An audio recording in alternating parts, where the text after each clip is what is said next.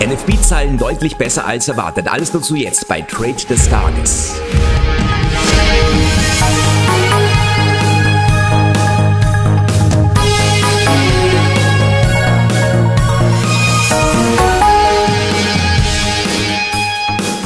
190.000 neue Jobs waren erwartet, geworden sind es sogar 253.000. Auch bei der Arbeitslosenquote gab es eine positive Überraschung. Es waren bisher ja 3,5 und es wurde erwartet, dass es auf 3,6 ansteigt. Es waren aber sogar 3,4, also sogar besser geworden. Und die durchschnittlichen Stundenlöhne 0,3 war die Erwartung eh recht gut, aber es sind sogar am Ende 3,5 geworden. Wie schlägt sich das nieder? Erstmal mit Dollarstärke, das ist sehr schön. Euro USD ist auf äh, wieder 1,0974 jetzt gerade runter. Da sehen wir jetzt die aktuelle M15-Kerze und der Euro Euro-USD ist somit wieder unter den 1,10. Das ist schön für den Euro-USD, aber nicht ganz so schön für mich, weil ich muss trotzdem erstmal warten, dass es rauskommt. Hier sehen wir es nochmal im H4-Chart. Wir waren ja in der letzten Zeit öfters mal äh, etwas über 1,10 Richtung 1,11 gehen. Manchmal waren wir auch wieder ein bisschen drunter, äh, deutlich unter 1,10, aber sind auch nicht wirklich gefallen. Wir sind immer noch in der Seitwärts-Range drin und es ist tatsächlich so, wenn ich hier im M5 vorbeischaue, dann denke ich mir, ui, da ist was passiert. Schaue ich es mir aber im Tageschart an, dann merke ich gar nicht, dass NFB ist. Ich habe es mal versucht zusammenzufassen, hier den wichtigsten äh, dieses Supportbecken, ich habe es damit es ein bisschen schneller geht, schon im Vorfeld eingezeichnet.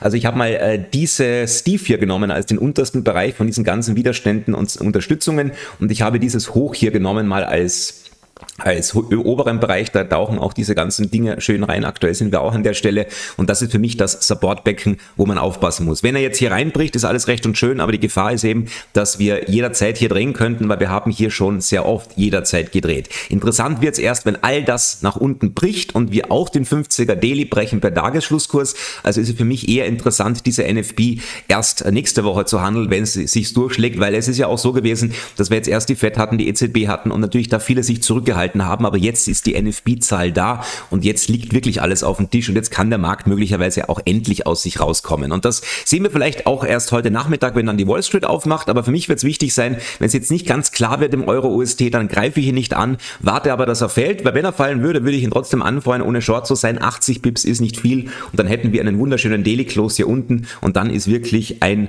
Short-Signal da, was ich dann auch nächste Woche nutzen kann. Das würde auch im Tageschart sehr hübsch aussehen, wenn das runterkommt und sich die Bollinger Bands öffnen. Und im Wochenchart, wo wir jetzt auch seit einigen Wochen nicht wirklich mehr weiterkommen und immer wieder so Dochte nach oben setzen, wäre natürlich eine rote Wochenkerze, die auch einige der alten äh, Tiefkurse verschluckt, auch insgesamt ganz wichtig. Also die 109 um den Dreh herum sollte man sich hier erstmal rausstreichen. Was man jetzt traden kann, wenn man äh, doch kurzfristig äh, agieren möchte, ist natürlich doch den Bruch unter den S1. Wir sind jetzt mit dem M, mit der M15-Kerze der aktuellen bis äh, zum M, äh, zum S1 runtergekommen. Man könnte jetzt sagen, wie wir das immer machen, hier ist das Tief der unmittelbaren Bewegung, vorausgesetzt, jetzt wird jetzt bis 14.45 Uhr nichts mehr tief, aber ich gehe jetzt mal davon aus, wir haben schon 42 und wenn es darunter schließt oder also wenn es jetzt so bleibt und danach drunter bricht, könnte man versuchen, natürlich dieses Stückchen weiterzuhalten. Handeln hier würde auch S1 und auch der Monthly Pivot Point gebrochen sein, was ganz interessant ist kurzfristig, aber ich würde trotzdem nicht viel weiter gehen wie bis zum S2 oder bis zum 50er Daily. Das heißt, wir haben, wenn ich jetzt hier Short gehe mit einem knappen Stopp von 20 Pips,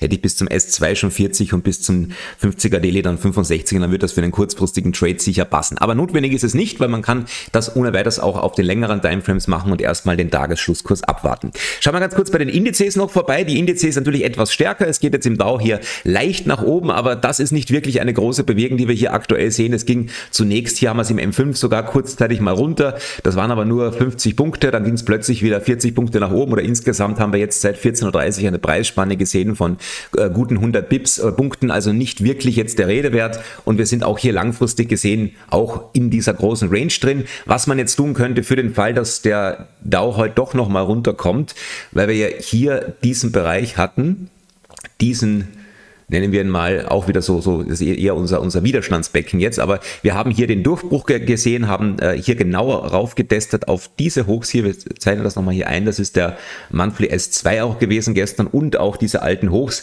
genau reingekommen, von hier aus wieder hoch, also wenn man jetzt nochmal so einen Final Short probiert, könnte man es kurzfristig hier machen, könnte über den 50er und über diesen Zwischenhoch stoppen, da sind wir irgendwas bei 160 Punkten, wird das die von gestern wieder erreicht, sind es 400 und kommt die nächste Stufe bei 32.670, haben wir schon 7 700. Gleichzeitig aber gerade diesen Fehlausbruchhandel wäre interessant, weil wir zum Beispiel, wenn ich jetzt mal zum DAX schaue, beim DAX sind wir gestern gar nicht drunter. Beim DAX sind wir gestern relativ stabil geblieben. Das sieht sogar insgesamt ganz gut aus. Also könnten Indizes, sie müssen gar nicht fallen. Ich weiß gar nicht, ob es Sinn macht, jetzt den Dow großartig zu shorten. Einerseits, weil er ja wegen den Daten vielleicht auch hochgeht. Andererseits, weil wir zwar den Dow gestern gebrochen haben, aber viele andere Indizes, auch der Nasdaq als US-Wert, gar nicht. Also der, der der äh, Dow Jones hat hier so ein wenig Fehlausbruch gemacht möglicherweise. Und gerade dieses Fehlausbruchsignal könnte vielleicht für heute Nachmittag dann interessanter werden, wenn jetzt die Wall Street dazukommt und der, die Indizes steigen sollten und wir nach oben gedrückt werden, wenn wir zum Beispiel wieder ober dem 50er Daily und oberhalb des Widerstandes, also so oberhalb von 33.500 circa,